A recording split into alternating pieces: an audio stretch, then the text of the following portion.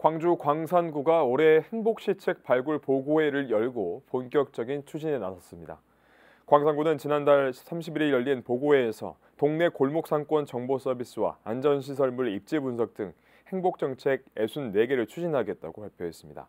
앞서 광산구청은 행복정책 추진을 위해서 올해 1월 전국 최초로 전담부서를 과단위로 설치한 바 있습니다.